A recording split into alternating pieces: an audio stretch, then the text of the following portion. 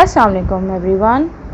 So today in class 1 the reader the big city continued. As you know that yesterday we did a reading session on the big city. The students were familiar with the concept and with the story.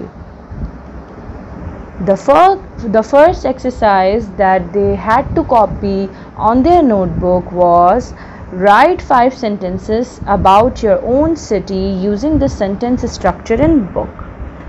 One example was also given. Number 1 I live in the dash I can see lots of dash.